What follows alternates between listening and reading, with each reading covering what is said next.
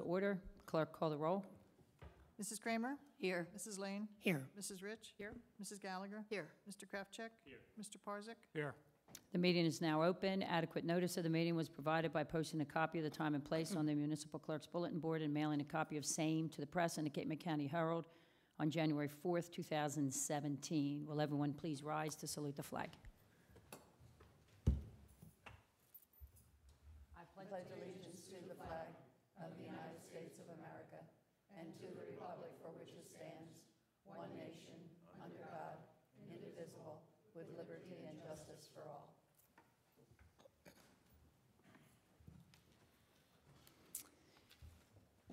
We're going to start the work session with Administration and Finance. Okay. Mrs. And Lane. If you will, let me change the subject for just a moment. Uh, I'd like to talk a little bit about the library.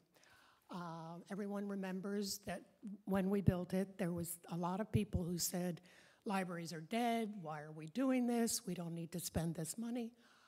I want to tell you that in June, July, and August, 20,000 people visited our library.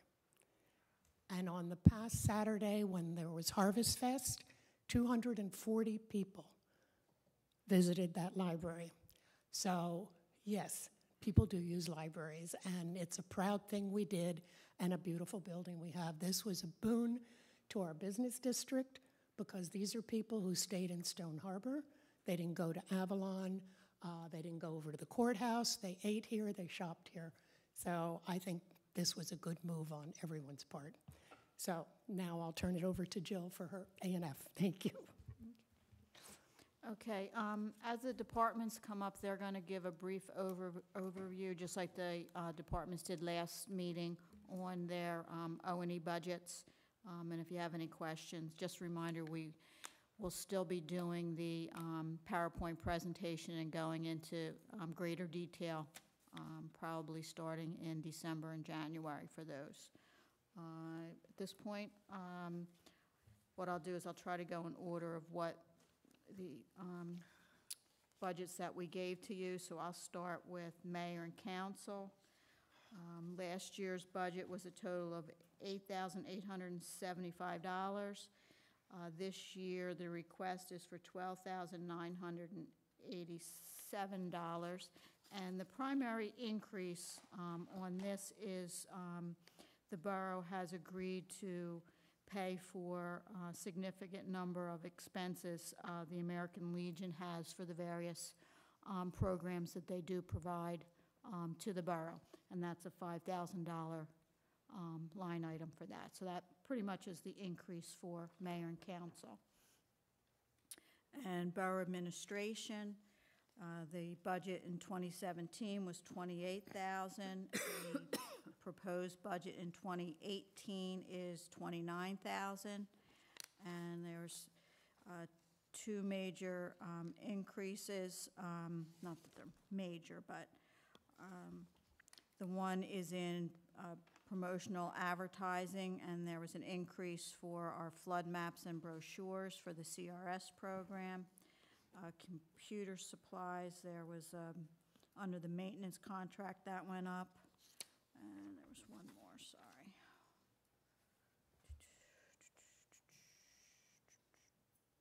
And that's it, professional, and professional fees for the CRS program. There's a $600 increase there.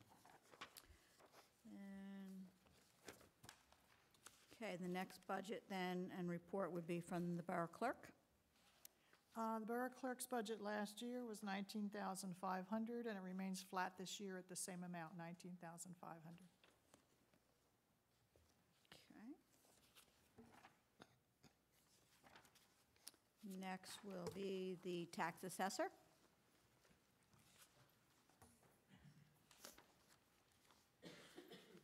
Uh, My budget this year um, decreased Yay. by like $900. And um, that was for, um, 1,200 of that was for um, postage that was like a double. It was on there twice, so Jim got rid of it for me. Um, The increase, the only increase I have really is for tax maps, went from 2,500 to 5,000 for um, putting the drainage easements on the tax map that belonged to the borough. And that's about it. Otherwise, it's the same. Any questions? Thank you. Thank you. Okay. Do we want to do the report as well? Yeah, please, Come on back, Margaret. thank you. Get back up here. Um, well, I have, um, the reval is nearing completion. We had a meeting, Jill and I, with, um, Frank from Vital, who's our, um, project manager now. The estimated completion date is November twentieth, which is the Monday before Thanksgiving. Um, he's gonna get an import, an impact report for me to review, which will basically give me a line just to go down and see the percentage everyone's assessment is going either up or down. So he was talking about sending out the value letters that same week, but that doesn't really give me enough time to review it, so I'm, I would like to push that back a week. And then the letters will go out the last week in, um, November, and then we'll have informal reviews with people from Vital in the library for, um, the old library, for two weeks in December, where people can, you know, just discuss any issue they have with the new assessment. And that's about it. So when they get their letter with their new value, it'll say, if you would like to discuss this. Yes, that- that's what it Make will your say, and- appointment and so on. Right, and it Okay. would give them Vital's number in Trenton to call. So, um, but I'm sure I'm going to be um, overloaded with phone calls as well. Um, In, a- in addition, they will do um, phone interviews with people that Right, obviously okay. can't come back Right. down into Stone Harbor. Right, They actually predict that most of their meetings will be via the telephone. as they have been in the past. Okay. And then also, they're contracted to, um, to defend the tax appeal at tax appeals or state tax court for two years. Okay. Okay? Okay. Margaret, Got it. off, Okay. off the top of your head, do you know the deadline for that tax appeal? What is the deadline? So we'll have their assessments um, by December. There's informal review with them to Yes, sort and- of hash and then out how so- they, Right, and then some might go up, some might go down, they may tweet some VCSs or something like that, but um, if they're still not happy with their assessment when they get their postcard in February, you have normally till April 1st to file an appeal, but in a year of a reval, you have till May 1st. so you get an extra month. Yes. And it- d- do you know off the top of your head, uh, during that informal re-assessment, will they change their assessment, or is it just really defending what they've come up with? Uh, Well, if you have, I mean, if, if a property owner has comps that would, you know, back up what the homeowner is saying, there may be some wiggle room. So there is wiggle room. It's not. Yes. They're just not defending their position. It's almost sort of like an uh, informal appeal. Yes, it's an Okay. informal appeal, hmm Sounds with, good. with no, you know, check, no nothing, just, Right. Okay. Thank you. thank you. Ask a question?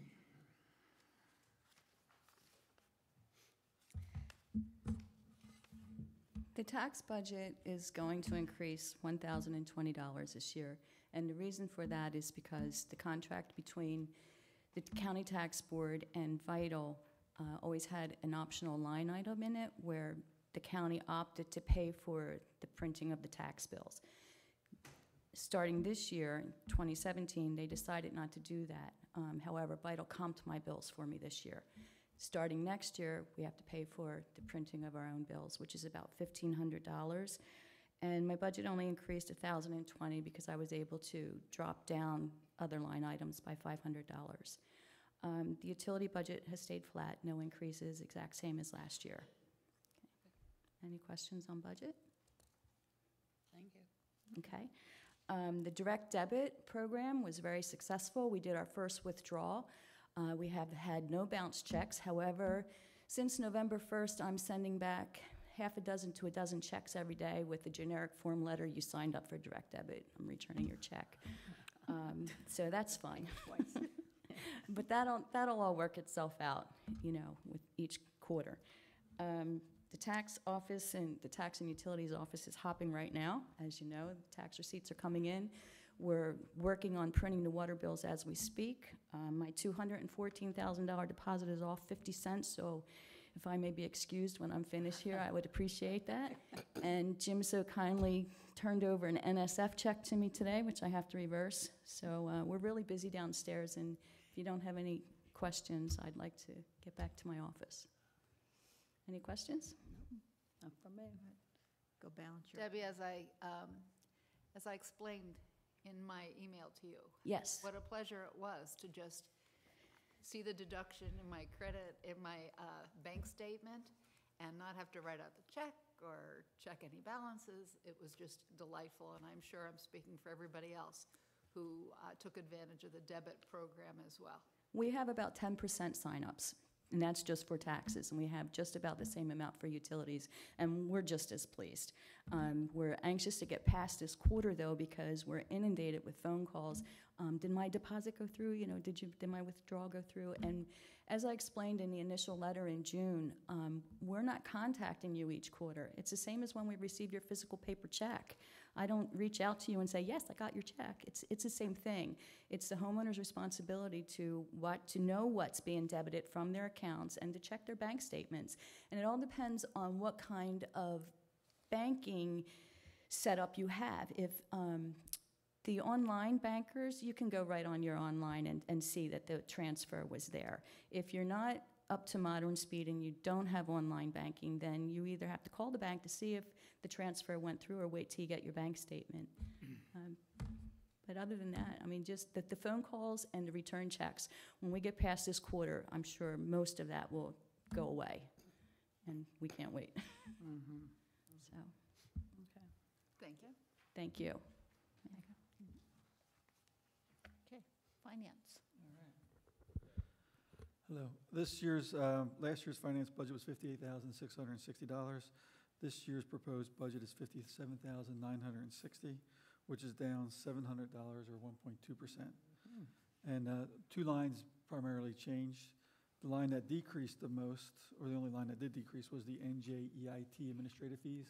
And they kind of step down as the loans get more, uh, further in their maturity. And then the line that increased was the payroll processing fee. And Those are the only two lines that changed. No, uh, we'll be um, invested in the CD shortly with Crest Savings Bank at 0.5% interest. Um, Hopefully put about three or three and a half million in there, which will be a little better than the 0.06% rate that we're currently getting. Okay, next up, Can I, construction. can I ask a question? I'm probably the only one who doesn't know this. Who generates these spreadsheets? Well, they're, they're actually a few years old, but they come out of the finance office. So I, I'm just curious, why, why do some departments have 2017 projections and others don't? Well, the- that field is blank when it's sent out, and it's up to the department to fill in of their budget, how much they, ex- their current year budget, how much Now money they to the expect to spend out of it. Oh, so that's not based on what's, what you've expended? No. That, that's? No, that just, a- some departments have not completed it yet. Yeah. And um, by the time we're ready to do the um, PowerPoint presentation, all of those columns will have to be filled in, and they'll be updated because um, the departments were doing these in, in September. So we'd like to update it closer to the time that we're going to actually do the presentation to the public, so it has more accurate figures in it. Okay. Uh, Construction. Good afternoon. Um, The construction office budget um, had to increase this year. We have two computers in the office that are um, fairly outdated and uh, having some problems with them. So that was the only area that we had to increase the budget um, by, Jim, you're going to Yeah, we're gonna, put that in capital instead of, okay, yeah, so the overall budget will be, seems like. the same. Okay, so O and E is going to be the same and then, all right. That was the only uh, change that we had. Um, Building permits for September and October, uh, we had two new homes, uh, or no, I'm sorry, 10 new building permits for September and October, and the demolitions were about 19 for both of those months. So um, that means that those demolitions will be coming in for new permits uh, to make up the difference there. Uh, Other than that, we really don't have anything else. Mike, for the entire year, how many permits have you issued, do you recall? I didn't get that number for the year. Okay. Um, We're probably up around, what do you think, 40? 40? About 40, 45, yeah. Mhm. for the All year. right, thank Yeah, you, It's up from the, the previous year, definitely, thank you. without a doubt, yeah. That's about it. Okay, um, next is planning board. Let's see, Diane. so How about Ray? Good zoning. He's, go ahead, Ray. Ray? He's like two more minutes. Not much, I don't have the budget for the planning board right now, I guess Diane would have it. You got some? Harry will do the budget. Oh, Harry will do okay, budget. good. All right. Um, The only other issue, before she goes over the budget, I'd just like to point out that the new um, FEMA maps were, uh, became effective October 5th, and that does affect zoning, and we're trying to iron that out at the next planning board meeting come Monday. Um, With the new map, there is um, uh, called a LiMWA line of uh, moderate wave action, goes all along the bay, and it brings a lot of homes into what is called the coastal A zone. And it, so, so now we've got an area that the homes, one zoning ordinance requires the homes to be at a certain height, and another zoning ordinance penalizes them, the two-story ordinance almost penalizes them, so we're gonna try working that out at the next, uh, planning board meeting come Monday to, uh, get rid of the little discrepancy we have there with the new mapping. We have, we have to tweak our ordinances now slightly. Ray, if you can generalize, where would you, is there a particular location within the borough that you would say it's concentrated for coastal A? Or is it, along the, the- the, the beach, but that's, we don't have any homes that are, very few that are actually where that line is. okay, But the bay, it's almost all the way along the bay. A lot of homes Everywhere. fall on, under that. They're all AE nine and ten zones, but that line of, um, the limo, what they call it, the line of moderate wave action bisects a lot of, property. and, and on Third Avenue, or over on Sunset rather, it's on the street, so everything on the west West side side of of that. Sunset falls under that demarcation line, and, and it's, um, it's causing a little bit of a, uh, problem with the zoning ordinance that we're, like I say, we're gonna try to tweak, tweak that. and the issue that you're referring to, just so everyone on council here, I think, understands and make sure I'm, I'm relaying this correctly, is that since we have to go up higher in this zone because of this, with the top of block, you're gonna end up with what is considered a story underneath the house as per our current zoning ordinance. Even though it's still a crawl space, because of the height, it's going to be considered a story. So we need to have a, a resolution to that so that Because the land construction is, can still take place, but we don't, we're not in violation of the zoning ordinance. right, the land is generally low along there. You're, you're at a five-foot, four or five-foot elevation to start with. The actual grade, the ground you're standing on, is four to five feet above mean high tide. And then when you have to be at 10 or 12 feet to the bottom of your first floor, that puts a six, seven-foot space there. So your, uh, your crawl space is gonna be six or seven foot high, mm-hmm. which is, so that's what Charles is talking about, yeah. And, and we've discussed this at length at planning board, as, as Mayor Judy mm-hmm. knows, um, that this is, this is an issue with that if, if we approach it correctly, could actually solve some problems with regard to storage and, and things of that nature without actually adding habitable space. So Right. It's something we need to address, Yeah. and we will address. Okay. Any, any questions on that? Thank you. Thanks, Okay. Hello. Um, so this year's budget was twelve thousand six hundred. It's going up to thirteen thousand six fifty. Reason being is, um, for office supplies, we didn't factor in anything for the zoning officer. Um, so now all the supplies are gonna come out of this one budget instead of, because he never had a budget before for office supplies for your permits. So that went up from hundred to, um, going up to thousand. Um, and tuition and training, we have a new member coming up, um, for the next year, so that will go up to one fifty, just added in for the training. That's all for zoning board. Thank you, Carrie. Thank you, Carrie. Okay, going back to planning board, um, last year's budget was twenty-three thousand six hundred and sixty. This year's projected budget is twenty-three thousand five eighty-five. And that was a slight reduction primarily in office supplies. Otherwise, everything is relatively the same.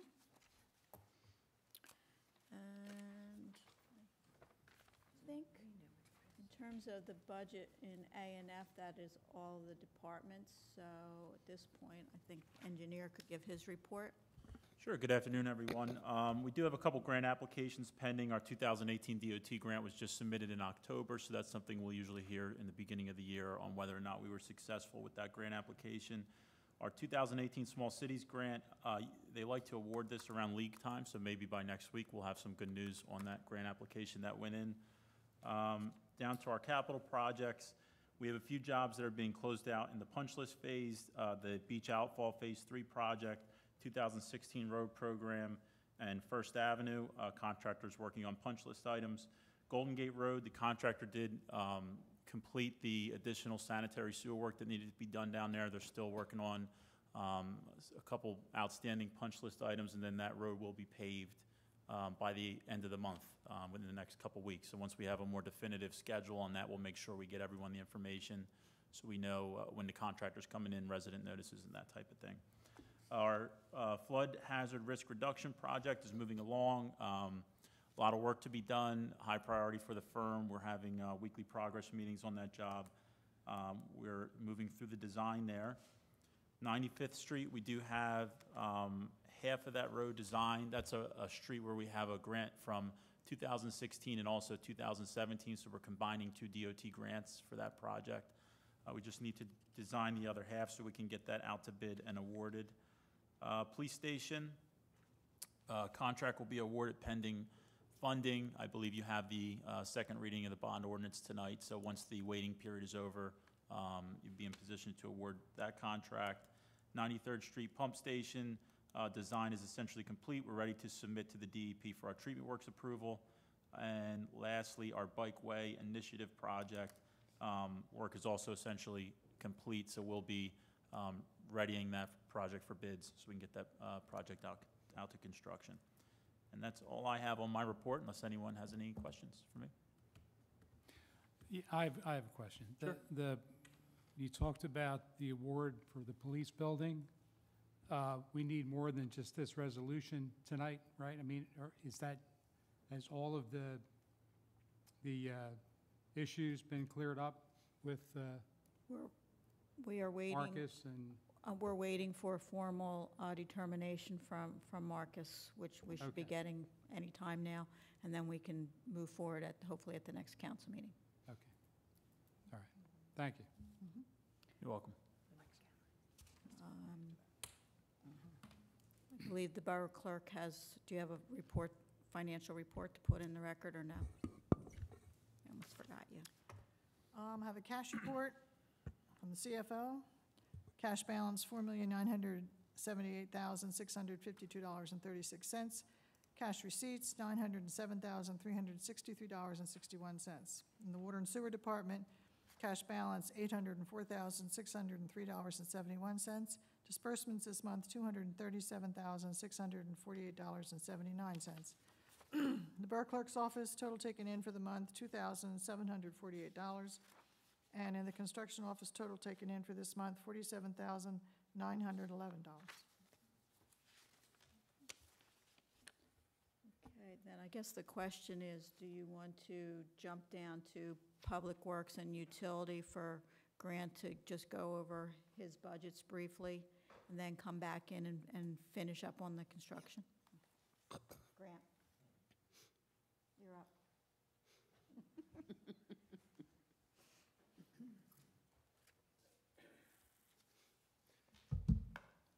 Good afternoon. Good afternoon. I'm the bad guy today, because my budget never goes down.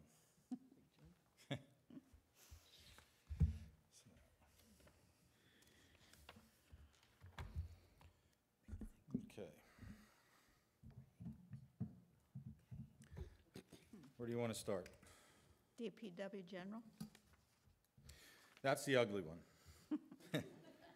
We were at 104, 101.40, yeah, $101,400. Where you're, that one's going up to 140 and uh, $200. That is mainly because of the uniform contract, which is a little bit over 38,000, or $34,000. Um, just some of the other light items just were shifted around.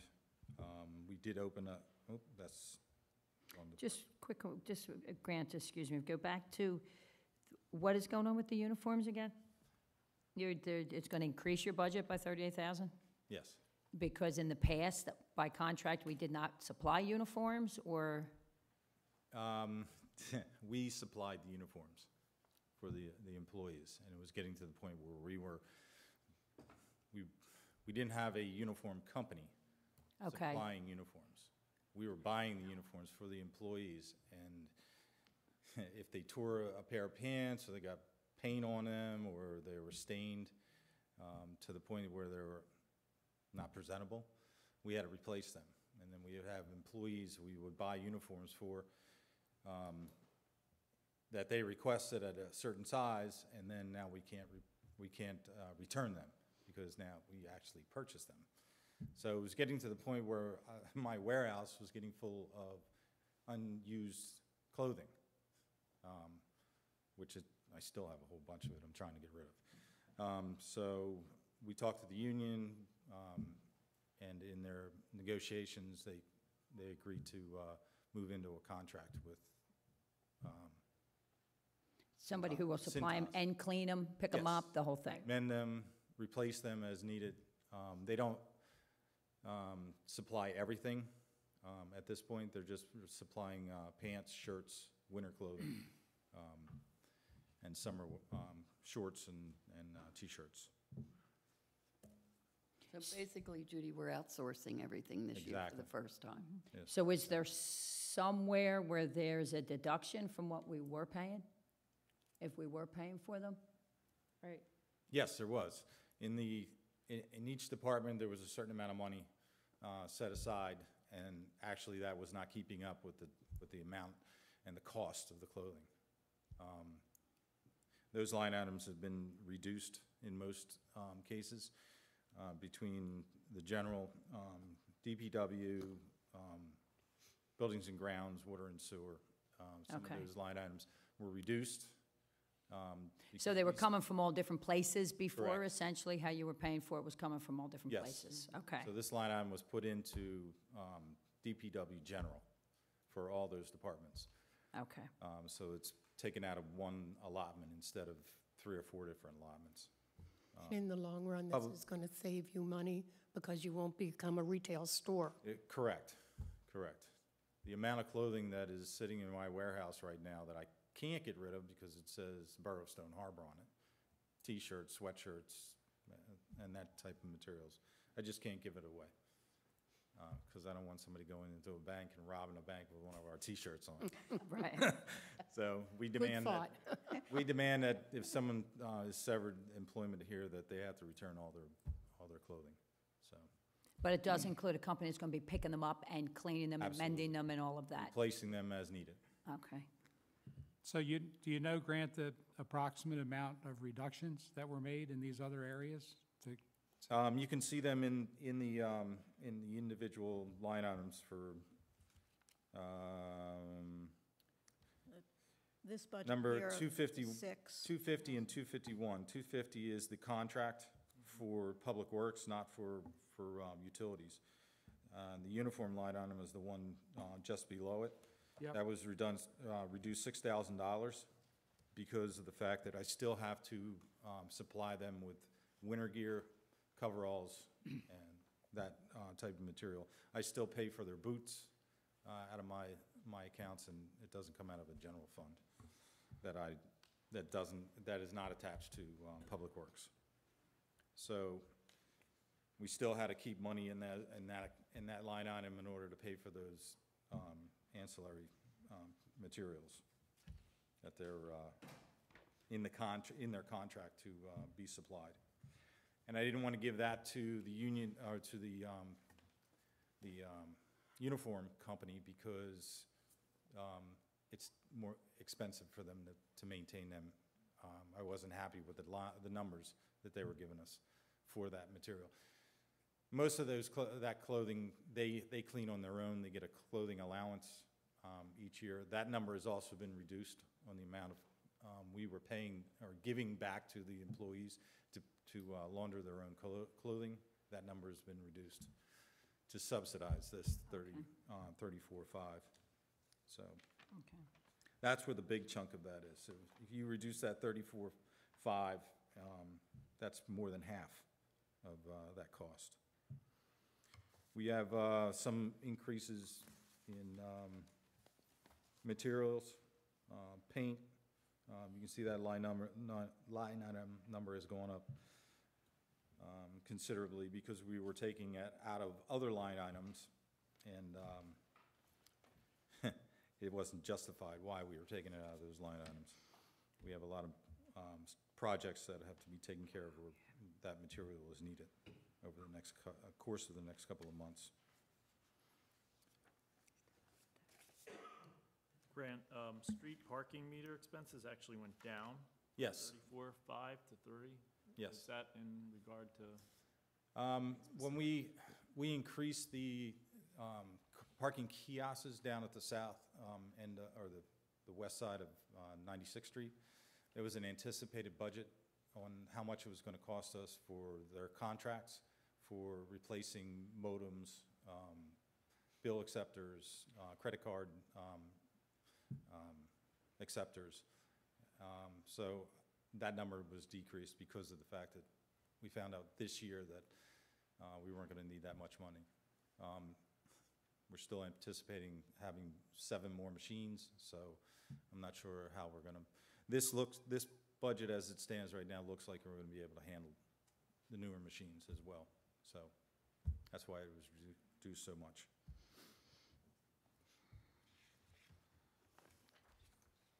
Okay, Buildings and grounds would be your next one. This is a good one. This one actually went down uh, a couple hundred dollars. In buildings and grounds, we did um, um, split out the janitorial and the, um, the actual buildings maintenance um, materials, because we, we supply so much toilet paper and, and uh, cleaning materials um, for our, our uh, restrooms and all the, all the buildings in the borough. Um, It was eating up more than we anticipated out of our buildings repairs uh, line items. That's why that number is increased in buildings repaired from seven thousand to um, twenty thousand five hundred. And um, the building supplies, which is uh, for, uh, 249, that number is lower from uh, 20,500 to 13,800. That's about what we spend on cleaning supplies and paper products in a year's time. Okay, next one is safety compliance. Uh, th- So, we have, in building and grounds, we have uniforms too. Yes. And that, and that, because, why, why is that? Why, our uniforms here are going up.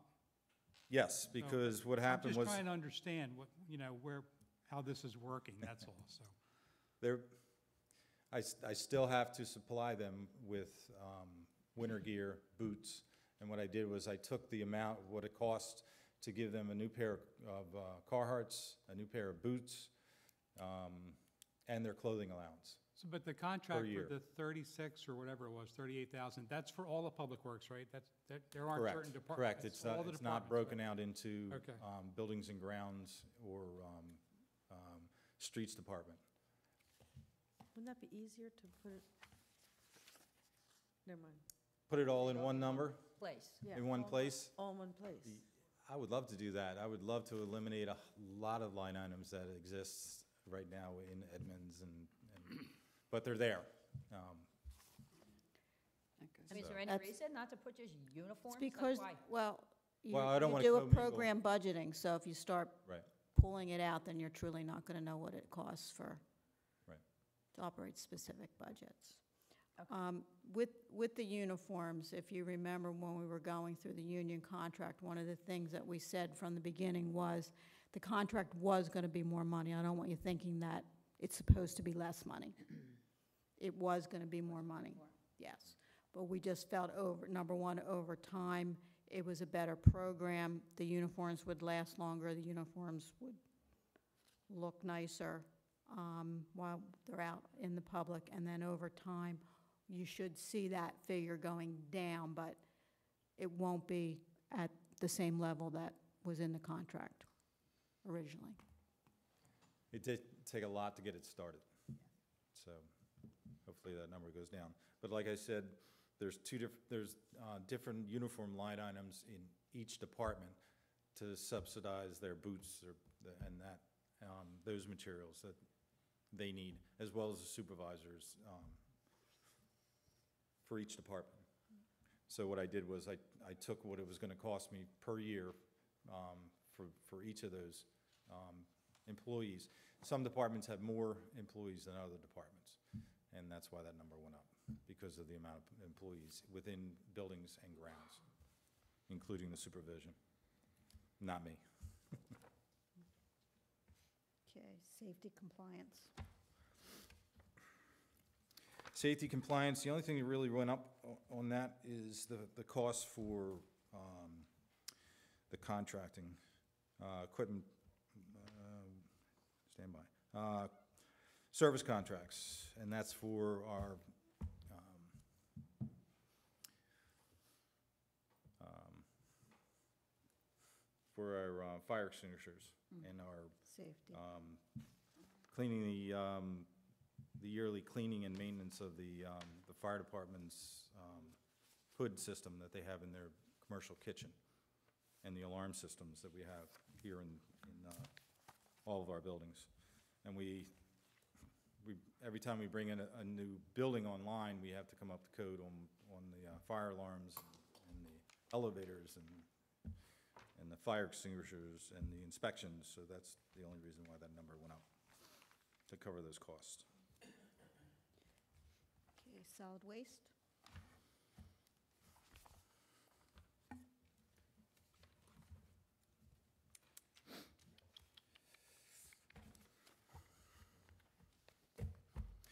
Solid waste is going up a thousand dollars, and that is basically cover, um, maintenance on the, um, the equipment.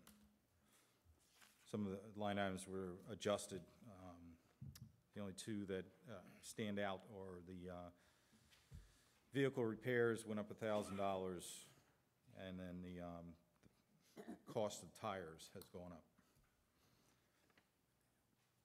But other line items have been adjusted in order to uh, satisfy that. Their union, uniform numbers have gone down drastically. That's gone down um, from 6,500 to 3,200. And that is because we pulled out um, what we, what we purchased for them and only put in the amount of employees times the amount of, um, it would cost me to replace their, um, their equipment and, and their clothing that we're responsible for. Next one is the sanitary landfill fees, the county. Uh, That just went, up- I I just increased that 2%. I'm not sure what that's going to be until they bring us our, their numbers for next year. And What's that- our total number of Public Works employees? Uh, 35 right now, we're down to 32 right now. I have three openings that I'm trying to fill. Two of them in grounds and one in uh, utilities. Okay. And then water sewer. This is the big one. And as uh, Michael attested to, we have 40, 45 new homes going up this year. And every time we have a house come down, new infrastructure goes in. They go from a single three-quarter inch meter to a, um, a one-inch meter for services, and then three-quarter inch, the house, uh, three-quarter inch turns into irrigation and their dock water. Um, So with utilities, utilities is standalone. It's not Public Works. It, it uh, pays for itself. The monies we bring in are the monies that pay for the, the materials that go out.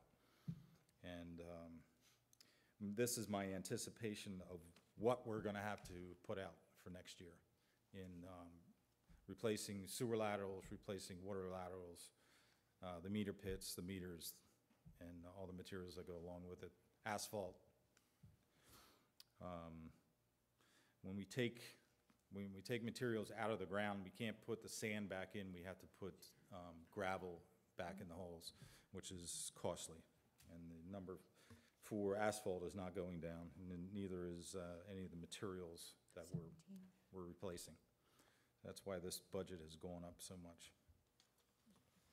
Um, I just want to clarify something on, on here. The cost for the group insurance, um, Grant had estimated at hundred and twenty-five. The actual will remain the same based on the figures we received from the state, so it will stay at eighty-eight thousand.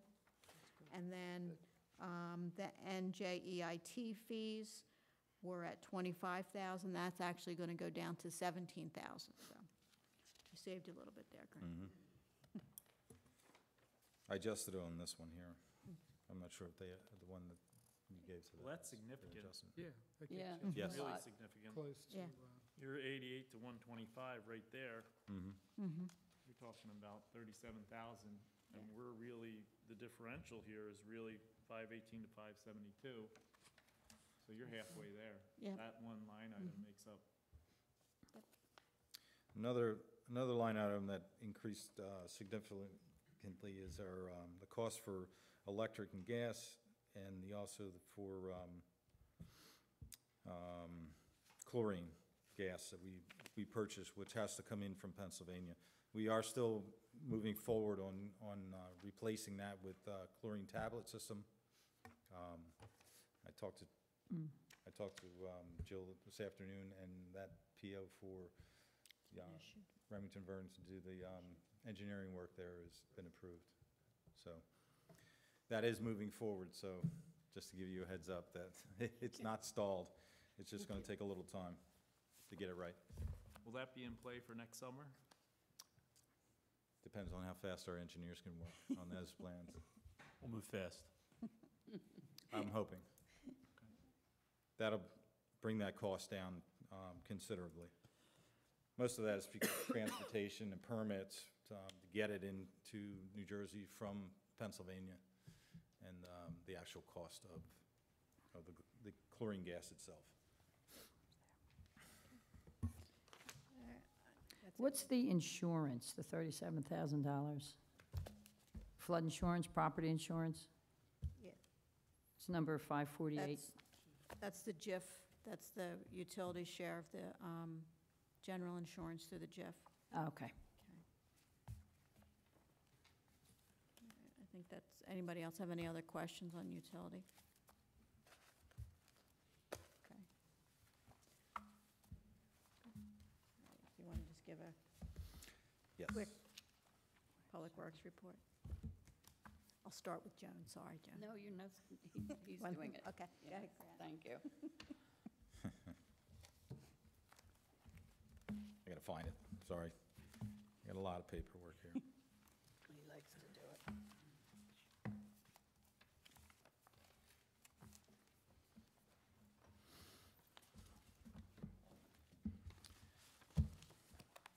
Here it is. Okay. Just some highlights of things that are on the uh, report and as, are ongoing as of right now. ADA mats, ADA um, mats are off the beach, um, and have been stored away for the winter. Um, Paving of utility laterals are continuing as, uh, as weather permits. We've put down in uh, September 18 0.92 tons of asphalt in the laterals. Uh, Right now, 103rd Street uh, ADA Beach crossover is being modified and uh, repaired because of some of the damage um, and the age of the uh, crossover to make it safe. It's not going to be a complete um, change-out, um, but we are replacing the uh, hard surface and the direction that the path actually goes down onto the beach uh, to make it easier for us to maintain it during the season. Right now, it's too narrow for our equipment to get up into the uh, crossover to clean it out. Uh, Marina floating docks will be coming out on November 15th, and bubble bubbler system for the pilings will be going in soon after. All the parking kiosks and meter heads have been uh, removed and put into storage for the winter. Sand fence on the beach from one, from 80th Street to 95th Street uh, will be installed over the coming months by the Solid Waste Department on Thursdays and Fridays. Hopefully that'll be um, weather permitting. Uh, The Buildings Department has removed all the concession stands off of the beach and are stored at 95th Street uh, parking lot, beach parking lot. Um, They'll be inspected and repaired um, over the winter months. Over 300 hours were uh, spent on special events uh, and seasonal decorations in September. Monthly safety inspections are done by the Buildings Department, um, which includes all of our buildings, the four well houses, two lift stations, uh, five public work buildings. They also inspect all of our ladders, fire extinguishers, eye wash stations, and emergency lighting signs. Uh, The department has been working on Public Works office. We're reconfiguring uh, the office space that we have right now bec- uh, because of the amount of um, file storage that we need. All you'd have to do is come down and look at Rocky's um, cubicle. It's uh, overflowing with materials. So we're trying to make it um, more user-friendly um, for the people we have there. So what we're, we're gonna do is we're gonna move a doorway over, expand the space that used to be where our copy machine is, and we're gonna move Rocky away from the windows and uh, put him in that space, give him some more room. Um, As well as expanding the, um, the clerks, um, the clerks area um, at the front um, reception area, as well as um, giving Lisa some more room uh, where her cubicle is. And hopefully, and then we're gonna replace the carpets and uh, reconfigure the uh, office um, desks and and storage areas that we have. Uh, The grounds department is still we- working on weekly cuts because of the normal, uh, abnormal temperatures. Um, Irrigation systems are being winterized as we speak. Bird Sanctuary's Holly Path was uh, cleared of debris because it was closed for the, for the uh, summer season and will be open for the winter. Um, All the urns and hanging baskets have been removed. The flowers have been removed. The uh, urn, the baskets have been uh, taken down and put into storage. Automotive Department, uh, monthly services on, on police uh, vehicles is being completed. Uh, Monthly inspections of uh, fire departments is done on the first Monday of the, the month. Uh, We just completed a sheriff's service request from Middle Township. One of the rescue squads um, purchased a, a- an- an SUV that was green, and they asked us to paint it for them, so we did that last week. Uh, And he picked it up today. Uh, They should be sending uh, Jim a check for the materials that we used to paint it. They also requested that we uh, look at painting a couple of their Hummers that they received from uh, OEM in the the uh, springtime if possible. Solid Waste Crew is uh, working the winter route, which is Monday, Wednesday, Monday, Tuesday, and Wednesday. Um, Thursday and Friday, they'll be working with the other crews and uh, taking care of brush complaints, um, requests, and uh, commercial properties. Uh, Tonnage numbers continue to drop for, um, for trash, with recycling numbers continuing to rise, which is a good thing because they want us at, uh, at fifty percent. Um, Hopefully that, we can achieve that within the next couple of years. Have we been doing better, at least? Um, We have been, yes. Unfortunately, the uh, materials are, are lighter in weight. You know, your plastic bottles are lighter, your, your, uh, your paper products are lighter. And the balance on the two is, is becoming um, difficult to reach that fifty percent. But it's coming. Fran, I want to step back for one moment when you said you were, we'd get a check for painting the vehicles. For the materials. But wh- wh- what, where's our labor come into play here and the time allotted? It's, it's just like any um, um, shared services. If, if, um, if um, Avalon wants us to, to, to lend them a piece of equipment to do a project, um, we'll send an operator with that piece of equipment. We don't charge them for that. That's what a shared service agreement is, is all about. There's no stipulations, like we already did one piece of equipment. Now you said there might be two more Hummers. Doesn't that Correct. take our men away from what they're? We'll only do it if we have time to do it. We won't take it away from the, from the, the work that we have to do here. Stone Harbor comes first, then whatever else after that happens. It's just like in, um, when we had the uh, blizzard in 2010. um, Middle Township contacted us and we plowed, um, we plowed um, the Manor and we plowed um, Bayberry Drive, we plowed all, everything on, on the east side of the parkway for them.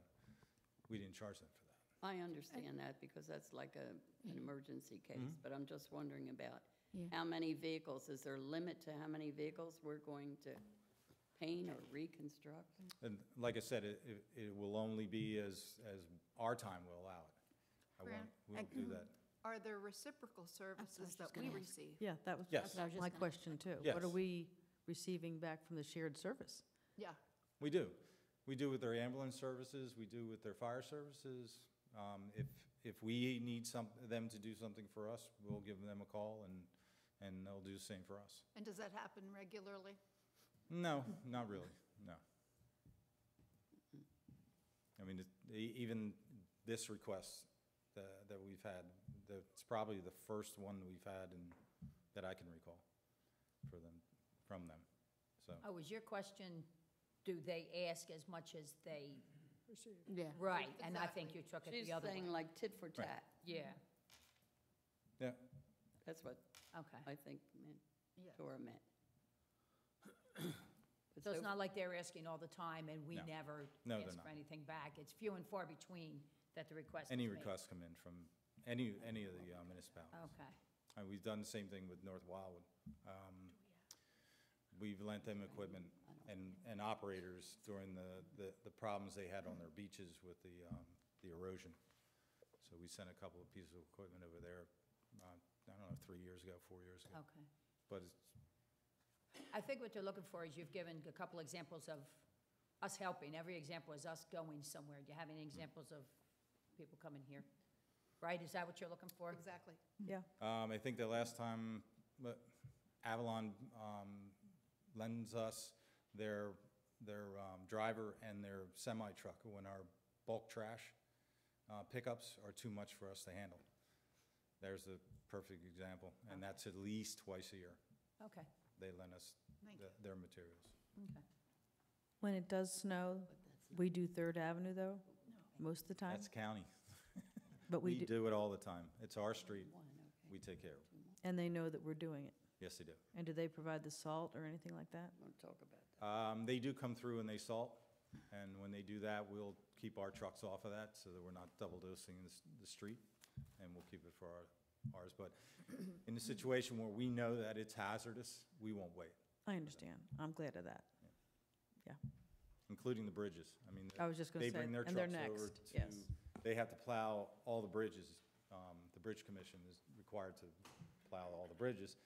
We take care of 104th Street, we'll clear 96th Street Bridge and the, and the South End Bridge when we know it's getting hazardous. Um, we won't go any further into Middle Township, um, but we will clear those bridges to make sure they're safe. And we'll salt them when needed. That's because we're good guys. Yes. You know where they come in sometimes. Okay. Uh, I mentioned solid waste crew is gonna be helping on the beach. And that's it for Public Works.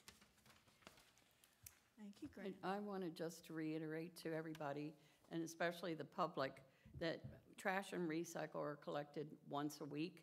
They don't stop at every house anymore. So if you have somebody down for the weekend or somebody visiting, please call Public Works, leave a message, and then we'll come and pick the trash up. Yes, whenever someone calls and we, don't- we're away, uh, if it's after hours, weekends, we have a contact system.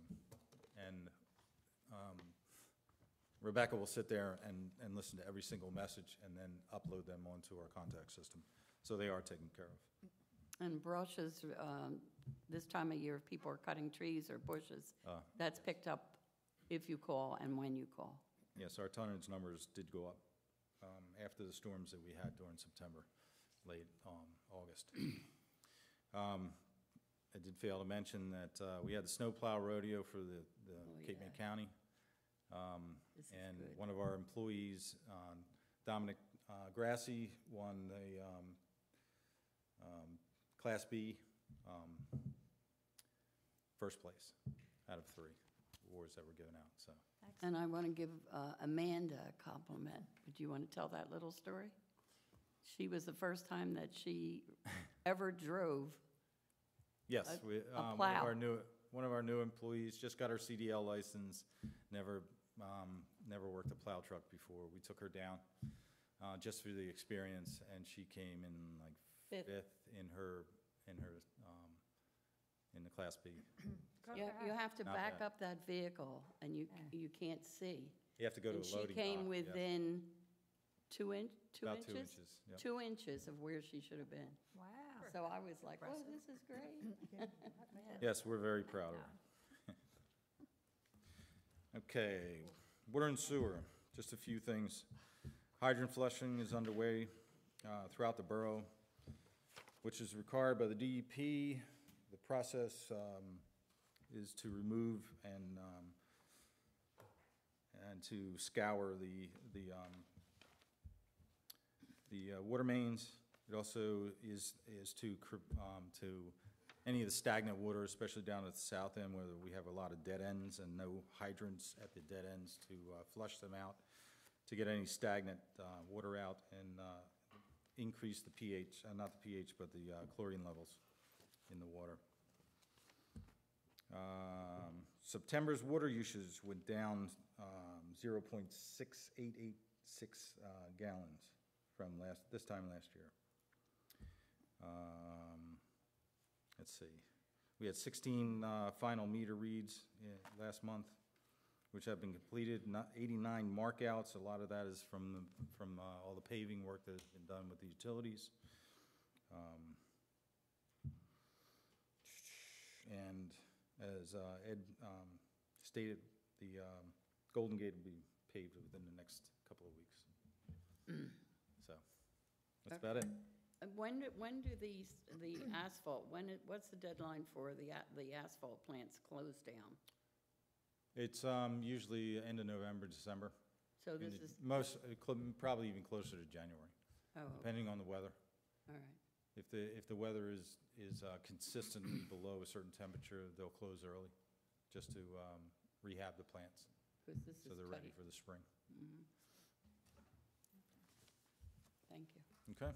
Grant, you got, you have two, uh, you have, you have two items here under the marina where you're, you're filling holes with the bulkhead. Yes, we have uh, got- two areas um, that we have uh, breaches in the bulkheads. One is between uh, the steel bulkhead um, on the southwest corner and where the vinyl bulkhead um, matches up. Um, There is a hole in the bulkhead. So is this something we got, we should, Well, we Looking we at- slurry sealed it for now, mhm. uh, and then we got to decide on how we're going to repair it in- in the future. And then there's another one um, on the parking lot off of Third Avenue, um, between our property and the neighbor's property on the south, also on the southwest corner of uh, our stone parking lot. There is a breach in the bulkhead, I'm not going to say whose bulkhead, but um, that we keep having to fill in because of uh, washout at the base of the bulkhead. but at some point, you're Rotten. going, that's going to have to get budgeted Yes. for, It's not our bulkhead. The problem is the neighbor's bulkhead. uh, okay. Well, we do have two bulkheads that are going to need to be replaced. Um, One is one, 114th Street is rotting out from the base. That's a very large bulkhead. It's going to cost us about $400,000. That's a, that's about um, 300 feet of bulkhead that needs to be replaced there. And the other one would be 90, 94th Street is a wooden bulkhead, and it's below um, where I'm anticipating where our bulkhead heights are going to end up, which I hope we uh, decide on that pretty soon. And the, you have an item here that the, the beach outfall pipes are checked daily. Yes, they are. And what about the bay? Um, They're uh, checked a little bit less frequently because of, the the beach outfalls are, in in the two that we have are in bad shape. Um, We have a lot of vehicles that traverse um, through there during the winter months when they're fishing. We just want to make sure that they're not damaged or, or uh, need of repair. But the bayfront you're getting to weekly? We- What- Mm, We, it's probably monthly, because unless we have a major storm, there should, there are, there's no issues with the, uh, the duckbills that are on there. We do have two that have to be replaced, um, that we have, um, POs in for right now, waiting for them to come back. Um, one is at the end, of- one of them is at the end of Golden Gate, and the other one is at, um, Sunrise and 103rd. If, if I, and I won't ask any more questions, but I think in the budget, this year's budget, we had twenty thousand dollars in there for duck bills. There's usually about 20,000 a year. And did yes. we, did we, we bought those, we procured those, and did they get installed? Yeah. What's that? It takes usually about uh, three to six weeks for them to get it, to be, um, once we get the PO out and the paperwork out to the company, it takes about three to six weeks for them to get them back to us. All right, thank you. Mhm. Anyone else? Thank you, Grant. Thanks, Grant.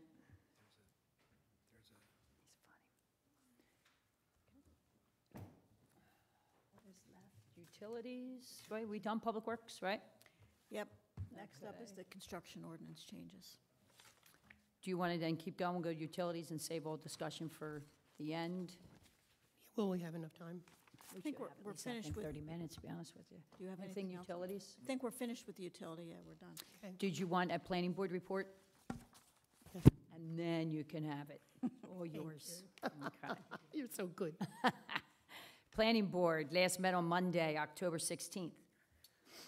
And at that meeting, the boat, the, the board voted to approve Mott and Associates to complete a utility line relocation feasibility study for the relocation of the transmission lines that were installed on Second Avenue. The idea of completing this discussion had or completing the, completing this study, I'm sorry, had first been discussed in the last Master Plan Review Subcommittee meeting, which was held on Wednesday, October 4th, prior to our Planning Board meeting. And the subcommittee agreed at that time that a feasibility study would be helpful to them as they continue forward with the Master Plan Review. So at the last meeting, Mott Associates submitted a proposal to the Planning Board, and this proposal would not exceed $10,000. Um, I'll give you what the details of the proposal are. And as council is aware, money was approved for the planning board to hire consultants and experts to facilitate the review and the updating of the master plan. So I will give you the details of what the proposal is for the relocation study. Stand by. They will review Atlantic City Electric's cost proposal for the second phase as it relates to relocating Phase One. They will meet and discuss with Atlantic City Electric at length the problems they feel would result from putting the electric lines underground, as well as what role they will be willing to assume to ensure the completion of any work associated if it is deemed feasible. They will look at ways to reduce costs to make the project feasible, possibly through phasing, coordinating restoration work with road projects, grants, etc. Legal issues that may arise will be analyzed with the input of the borough solicitor, along with experts in the utility field. The issues may be discussed with the Board of Public Utilities should it be deemed necessary to ensure safe, adequate, and proper utility service at a reasonable cost. And They will research the feasibility of placing the distribution lines underground along with the phone and cable, which bring a separate set of issues and additional costs. So, in a nutshell, um, what has been authorized is for Mott Associates to start to review with, based on those items and not to exceed $10,000. Right now, there is a meeting scheduled with ACE tentatively for November 21st, which is Thanksgiving week, and we're coming into a little bit of a problem because it's just a busy time. At this time, it's a tentative meeting, but it is on the books, and if we can't get anything scheduled quickly, then we will be moving forward with that meeting. Um, The Master Plan Review Subcommittee continues to meet monthly. They're meeting on the first Wednesday of every month, and they last met on Wednesday, November 1st. And the next Planning Board meeting is this Monday, November 13th. Any questions? I just wanted to add real quick, um, one other item that was discussed at the last planning board meeting, which we authorized our solicitor, Andrew Katniss, to follow through on, would be uh, redrafting an ordinance pertaining to the established bulkhead line in Stone Harbor. Um, And just a little background on this, the purpose of this established bulkhead line is to maintain um, building setback along the bay fronts to allow for um, visibility and non-obstruction of, of views along the bayfront. Um, And it's particularly important in some areas more than others. But that being said, um, as part of the category of a structure along the bayfront, pools are included as a structure. The purpose and intent of the setback from the established bulkhead line, from a zoning standpoint, really pertains to structures above grade. That being said, um, the planning board felt that with development um, as it exists now and in the importance of pools to homeowners, that pools should be excluded as an exemption from being designated as a structure. Thereby, if somebody wanted to put a uh, pool up to this established bulkhead line, they would be able to do so and not have to um, comply with the 10-foot setback rule. And in doing so, they would not obstruct views. So the purpose and intent of that established bulkhead line would be still held in place, but a pool would be exempt from that. So that is being promulgated by our solicitor, and an ordinance will be drafted for council's full review, I believe, at next meeting. He's bringing, a- bringing something to us Monday. He's bringing it to us Monday, and then we will review it and make any changes, and then bring it before council. But I just wanted to update council on that. Thanks. Anybody have any questions on anything from planning board? No? And back to you. Okay. Um, I'll let Jill review these suggested ordinance changes. They're basically everything we discussed previously, with the ones that are darkened that you will see. There were some additions. This was reviewed in depth at ANF, and um, we unanimously agreed that we would like to bring these forward. So we can discuss it again tonight, and I'll let Jill take you through it. Uh, I think we all saw the report from um, uh, the um, SHPOA, and uh, they tremendously support. A lot of people replied and tremendously res- report and support uh, these changes. Um, So Jill, I'll give it to you. Okay. Uh, The first um, item is A, no demolition and no driving of pilings for the period July 1st until the Friday immediately following Labor Day, and this is residential and business district. Um, B, no work on any site prior to 8 AM or after 6 PM, and we added in at any time of year. Uh, Originally, we, we had listed it, it for the summertime, but we wanted to make sure it was clarified and everybody knew that the actual um, times for all, all throughout the whole year is 8 AM to 6 PM. No heavy equipment prior to 9 AM July 1st through Friday immediately following Labor Day. No work at all. C, no work at all on Sundays beginning July 1st through the Friday immediately following Labor Day.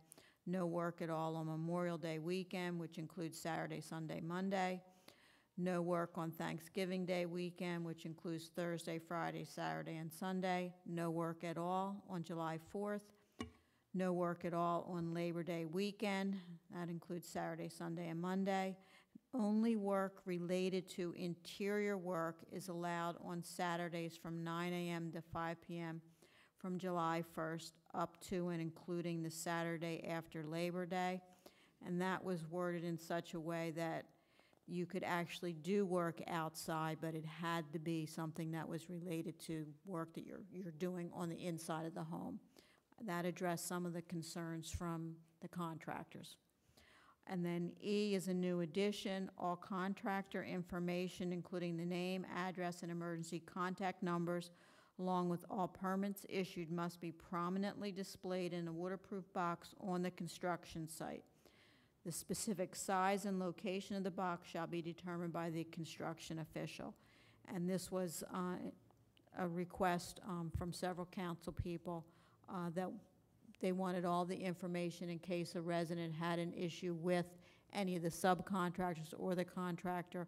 All the information was readily available. Are we gonna start with each one, or what are we, how are we doing this? No, wherever you have a question. You want to, Just, no, just wherever you have a question. I don't think we have to go down them one after the other. We've already uh, discussed most of I'll start. I, I, um, if you recall, I, I said at the previous meeting that I didn't think these, perhaps these uh, proposed ordinances uh, didn't go far enough. Um, And I, and I'll be honest with you that if, if, um, if this were going to a vote tonight, I would vote affirmative for these. Uh, Since we talked about this last, uh, one of the builders, uh, Matt Pappas, who's in the audience, uh, sent us this, this letter with his comments and thoughts uh, and, and a proposal in there about these ordinances, a lot of which he agrees with and doesn't have any problem with.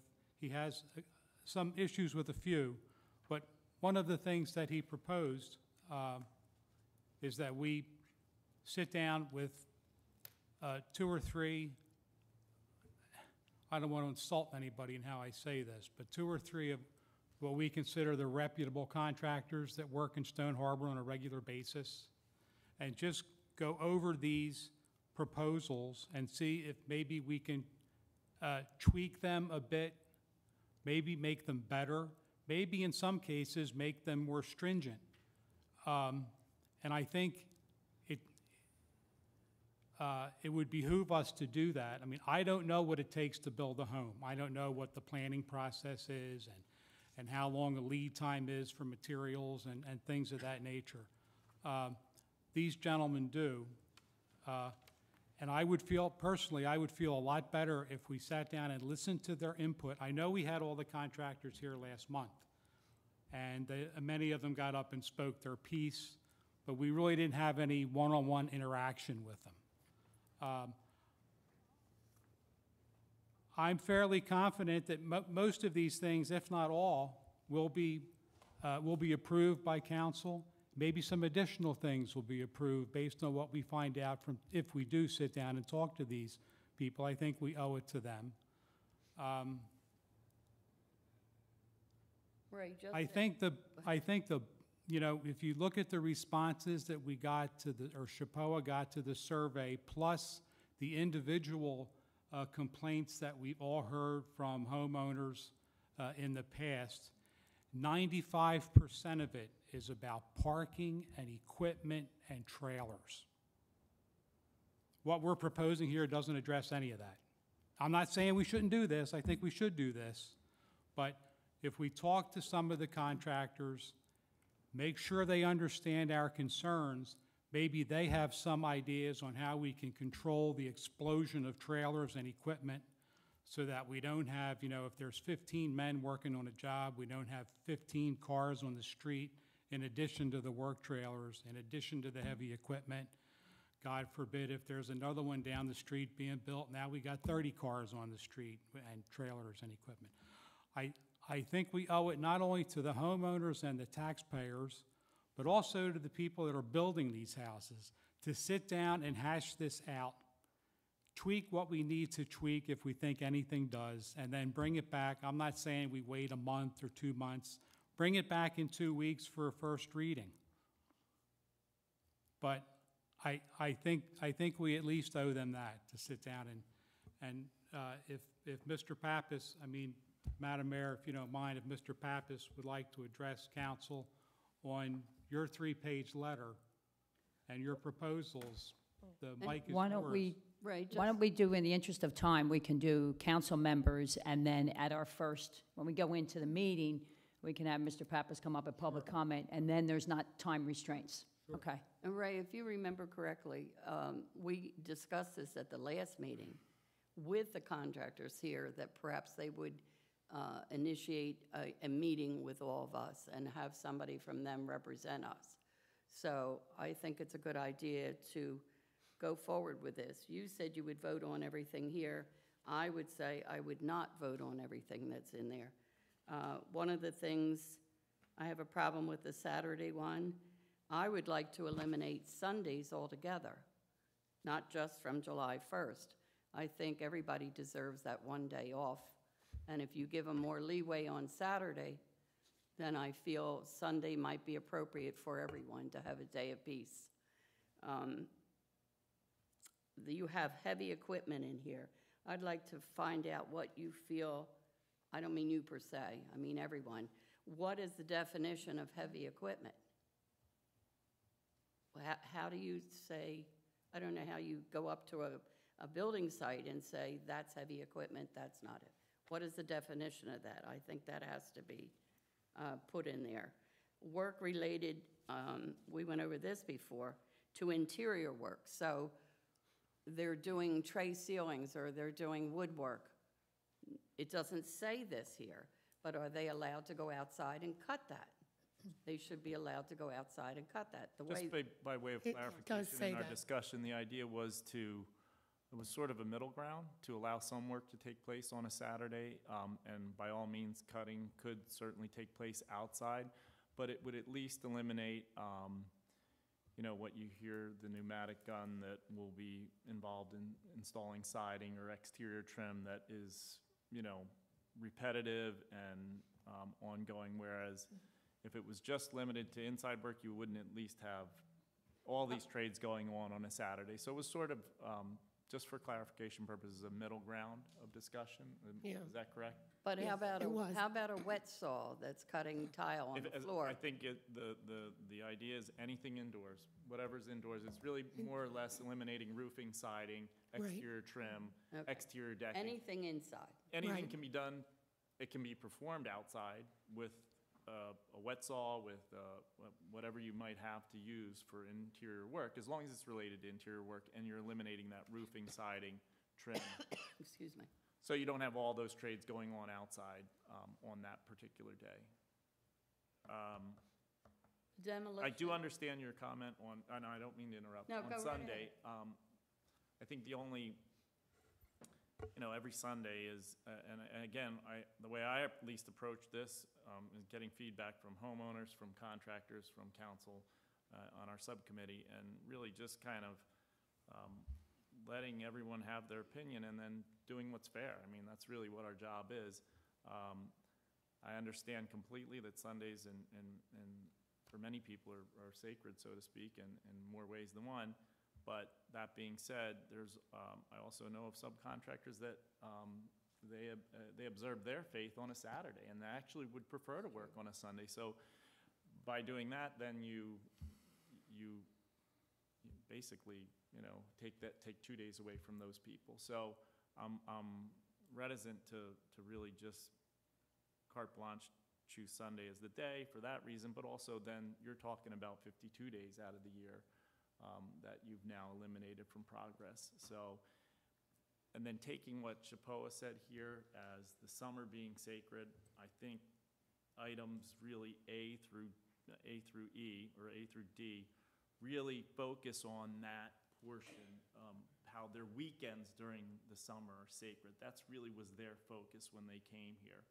And so I think some of these items are, are, D is a give and take, and, and- we work through that so that we can still have progress, but it's limited in terms of the amount of intrusion on a Saturday. And the other ones are, are good just for the enjoyment of homeowners and the holidays here in Stone Harbor in general. So I think it's a good middle ground. I know there was some concern by contractors on the um, demo and pilings, um, because now that's two trades you have to take care of before that deadline cutoff. So that could be a little bit harsh, because now you have to, now, now a homeowner has to settle on a property, demo, and get pilings in before they can continue their project. So that's something I would like to discuss with some of the contractors further, like Ray suggested.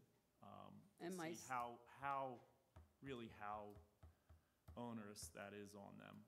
And myself also, because most of the demolition that I've seen over the past 25 years, it's done in one day. Right. So if you don't want pilings pounded in, I understand that.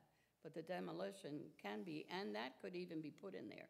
Demolition must be completed within a 24-hour. Well, and there's a distinct difference between demolition and pilings. I- I Exactly. understand the pilings are, can involve pounding, and that is, that's certainly not, it's usually pretty quick in, as demo is, but when demo takes place, there's definitely a certain amount of dust, and you have trucks coming and going, hauling, hauling the debris away. So in terms of intrusion and, and, and, um, uh, in that regard, demolition is, seems to be more of a intrusion on, on your peace and quiet. Um, The, the, the pilings, to me, are less so, so it is a consideration. And I do feel that our, our ordinances, and we had some in place, I believe our ordinance always read 8 AM to 6. That's what our ordinance read. But I don't think it was ever enforced. So I think some of the ordinance has, have to be looked at and enforced.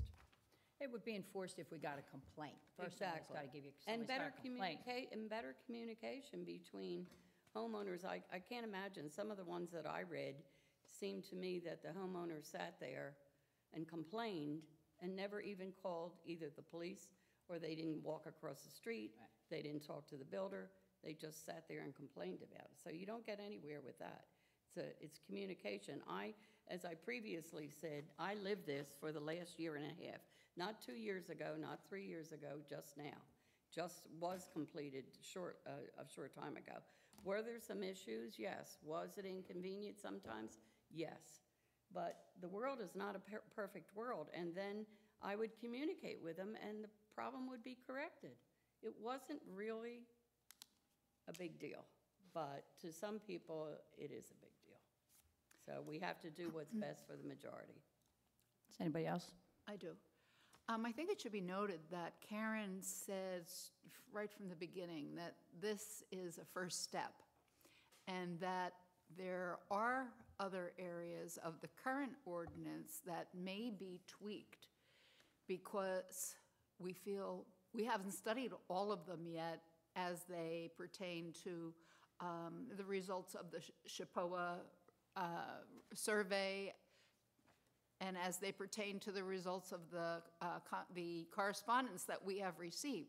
So what I'm trying to point out is that many of the people who were here at the last meeting and who came up and who voiced their concerns, and I'm talking about the contractors who came up, questioned, had questions about the ordinances that are already in place, the size of the trailers. I remember one of them asked us about what about a trailer that has an extension on it or something like that? And that is not even what we're talking about here. And I remember responding that at that time it had four, this, this uh, proposal had four prongs to it, and that's all. It wasn't any of the other parts of that ordinance. My suggestion would be, now that we have presented these four to the general audience of contractors, now that we have debated it as a council, just these four, I think it's time to tweak them, change them, do something with them as a council, but still move forward with meeting with the contractors because it seems like, as I said, their biggest problems are the, the ordinances that are already in place. I think, excuse me, one of the things we also have to remember, we all live here. We enjoy this year-round. So our attitude very often, I know mine is, oh, it'll go away. I've got this, and it isn't mm. just that I'm here for this weekend and maybe one week. I live here. This is going to help all the tourists that we rely upon, all the people who come in and rent these homes for these extraordinary rentals and want to enjoy the peace and quiet of a vacation, and they can't because there's things going on on the very weekend they arrive and all throughout the week. So we have to take that into consideration as well. And yes, I do recall that a lot of the contractors were belaboring things that were already in our ordinances. We're not changing them. Now, whether or not we can come to a better understanding with, if we sit down and meet with a select group, but once again, the select group are not the ones who are giving us the problems. Yes, but they, but they can give us some insight maybe that we here as council don't quite understand or don't get. And I understand And that, I'm, but and I'm saying that, you know, I, I think we need to do this, but I want to make sure we do it right. There's no, you know, we're approaching winter now. There's, there's, we have another six weeks or so to do this, and it's not going to affect anything. We don't have tourists here now in December and January. So to meet with a select group of these people and have a discussion, because like I said, at last month's meeting, it was really a one-way. They, they sent us. We didn't have a chance to sit there and really talk to them, talk through each of these items, and talk through the other things like parking and equipment storage. You know, Stone Harbor is not a storage site for contractor equipment. Even if you move it every 48 hours, it, it's not right. I mean, if you're not using it, get it off the island. Those kind of things. Hear what they have to say. Or there's some words in here that need to be, um, need to be added, or some clarification that needs to go along with this. Like Mr. Pappas pointed out in his, in his uh, communication with us, you know, you say, it's one thing for the ordinance to say, you've got to park your trailer in front of the construction site. There are many sites in Stone Harbor where, because of the parking regulations, you can't do that. So now we start creeping all over the neighborhood. But that's Uh, part of the old the- ordinance. That's part of the ordinance that's there now, not Yeah, I part know, of I know this. that, I know that, but we're so, not- but I'm if we're talking gonna, this. if we're gonna be fixing things in the ordinance, we can address those other things as well, you know? I mean, I believe this is a great first step, but let's make it a correct first step. I think we, we should at least sit down and hear what, what they have to say, and then, and then move forward. I mean, I'm only asking for another month or so. Anything, Just quickly, I agree with what Mantur was saying. I agree that the Sunday would be something to think about because I do agree that we do deserve one day of peace. No matter what we do on that day, you can do whatever you want on that day. And I also believe that this is a very good first step, and I would vote on this tonight. I would vote positive on this tonight. I think it's a good beginning. Um, The other ordinances, which everybody should get a copy of and start to read them if you want to understand the rest of the construction ordinances, because they're sort of everywhere and not in one spot. Um, They should be co- consolidated so that you just keep reading them. Um, That's what I think that, as far as the parking and all the rest of that, that's not what we're talking about right now. And I do agree that it needs to be addressed, but I think that this is a sensible way to begin it. I don't think that, and you said yourself, and I feel the same way, I don't think this is that hard. I think this is very respectful and very fair. I think if we looked at these five, or at least the first four, and had to title them, I think that we could say noise regulation, because that's what it primarily is. Um, When we have real estate agents who tell us that they have to give refunds because the visitors to Stone Harbor are so distraught about what they had to hear that week or weekend or whatever, we do, we, it's incumbent upon us to address the noise. That's all these are. This has nothing to do with where you're gonna park your trailer. It's all about the noise. I agree, So- and, and we're making this too big of a problem. I don't disagree that we should sit down and meet, but I think everything is getting convoluted. I think this needs to be addressed, and we either bring it forward as an ordinance at our next meeting, and it passes or it doesn't pass.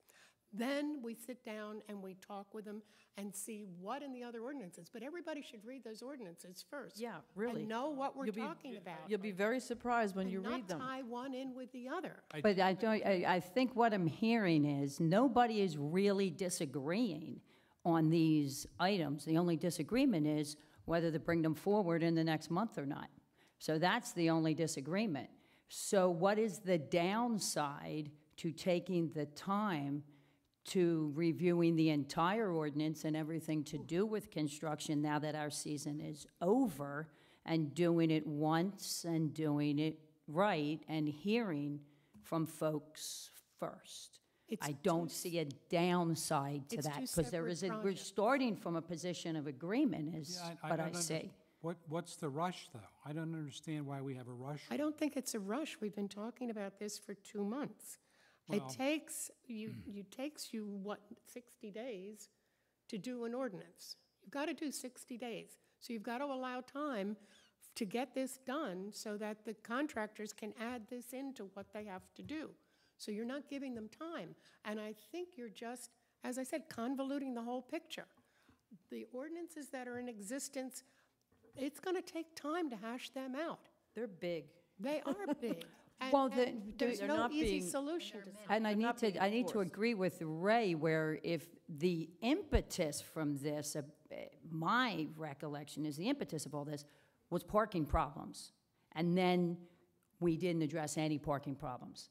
And I do agree with, with Ray on that, that that seems to be what started everything. Well, we addressed. And then we don't even touch on it. Um, Well, you did, We, we you did did. address that by the departments going back, understanding the ordinances and agreeing that they would start enforcing, doing a better job of. But there was no discussion of changing anything, the amount of vehicles that could be at a site, so on and so forth, things of that nature. I mean, because you still can fill up a street with a whole bunch of legal vehicles that are all affiliated. You could put 15 trucks at one construction site that are all legal. So, I mean, that being said, I just, I, and I think even way back when, two months ago, we were the same. Everybody agreed that things needed to be addressed, but the disagreement lied in how quickly was it going to get done. So I think we're basically back to that. How quickly does this need to get done? Um, I don't know that anything, based on the fact that our season now is so far away, I don't see why slowing it down and meeting with some folks and getting some insight and some information that we don't know could change somebody's mind, could make them actually dig in deeper and say, no, we have to do this. But it's leaving no stone unturned type thing. I don't know how we could, how we can go wrong with that. Not at this time. I think if this was May, it would be a whole different story because we'd be losing another season. I think Right. the only, the only difference will be, only because you are at the end of the year, if you don't introduce it at this meeting, then, correct me if I'm wrong, the, if, you would have to actually wait till January Right. to do the, because you can't introduce it in one year and, And let it Right. adopted. But meanwhile, the That's no- contractors that's are going to know it's coming because they're going to be a part of the process. So they're going to know what's coming in April. So, I mean, if it held over and was introduced in January, again, that's not our season. If we want to do it right. To me, that's all the more Problem reason, than it has to be. yeah, to me, that's all the more reason to do To do these this. now. And then take the next steps. But If why one of can't we these do them turns out to be a simultaneously? mistake, It could poss, it could be done simultaneously, yes. We- uh, The we only problem is we're out of time already with the ordinance if we need 60 days. Okay, no, what I'm Correct? saying is, You why would can't have to we introduce it move at the next forward meeting. with this? I don't mean today, but why don't we move forward with this and take it upon ourselves to set up meetings to be able to discuss all the other parts of the ordinances, the construction ordinances, because I really don't think that these are the kinds of things that the contractors had issues with. And that's basically what Ray said. I think it's the other part, but if we commit to review the rest of the, of the ordinances with, uh, the, with the eyesight of the contractors pointing things out to us, then we might be able to do part two of this. I think we all agreed it was going to be baby steps. This was our first step. And now, when you're adding and going uh, through all the other ordinances, and let me tell you, it's going to be a job, because I've been working on them, and we're not going to get them done for next season, I can guarantee you that. All we're doing is stopping everything. We've moved forward, we've gotten it to this point, we all, most of us basically agree that this is a good first step. So let's take our first step, and then let's all take the challenge and take, pull our ordinances, review them, and then meet when we know what we're all talking Well- about with the contractors before we go forward. Because Ray did say you can bring it up for first reading, but set meetings. Because he was basically saying, do it simultaneously. He's saying, bring it back for first reading. But do not, it's not going to continue without meeting with construction, and as Mr. Pappas says in his letter, involving police, construction officials, everybody, start having those meetings. It doesn't have to stop that part. It doesn't have to stop first reading. That's what I mean, let's do this. Correct, Ray? That's what I heard? And then meet with them and Think work on so. the other That's what I think I heard you say. No, I mean, we, uh, we don't have to hold this up, but before we do a final, which when would that be? That would be what, you have your first reading 30 days later. Right, but keep in mind, if after you introduce it, you decide you want to change it, you will not have enough time this year to do that. You'll have to, the worst case is you'll just have to start scratch, from scratch as of January. I don't know So if why that the happens, it science happens. know that. That would be I the don't vote. I want to understand. make That would sure be the that vote. we're not hampering the contractors in any which way. I mean, we're thinking about us, about the homeowners, but they have to make a living also. So I think we need to consider, you're, nobody told me that the contract, contractors loved every one of these. So I think the meeting is pertinent to the fact that they might want to discuss some of this and say, well, no, I'm okay with this, but I'm not okay with that. I So, wouldn't expect them to pervasively love any of these, quite frankly, but I think that, given their reasonableness, I think they all understand the purpose and intent and are willing to abide by what we deem to be reasonable, given the needs of our constituency. so why don't we have it prepared for first reading in two weeks? That can be done. But in the meantime, we're going to hear from Mr. Pappas during the next, during I'd the like council meeting. But by the same token, we're going to set up some meetings as it moves forward, because that is only the first reading. So if any of council members have grave concerns about it, there's not, there's more than one vote, and there is time. And there may not be. I- And there may it'll not be, give- it'll correct. give us an opportunity to, to explain to these few individuals what the big issues are. And, uh, Mr. Pappas, I know, I, I think from your letter, uh, one of your concerns, if you would come up to the podium, please, I think, I think your big concern was, It's, if- Next meeting. At the general meeting. it's it's Oh. already passed. Excuse me, Oh, here's the reason, because what I would like to do is we will, we will keep going round and round, and what I would like to do is adjourn the work session. We can hear from Mr. Pappas, and I just would like to know, are we at a decision to bring it forward for first reading at the next meeting? Everybody is going to have a vote at that point. And then you would have another opportunity to vote 30 days later. So there's nothing that stops anybody from continuing to get more information within that next 45-day period. So with that, what I would like to do is adjourn this meeting, well, then we'll open the regular meeting, we'll get the public comment, and then we'll open it up, we'll have time, we'll be following the, the, the meeting agenda, we'll get everybody on record, and so on and so forth. So, meeting to adjourn. Second. No, motion, Motion. we're adjourned.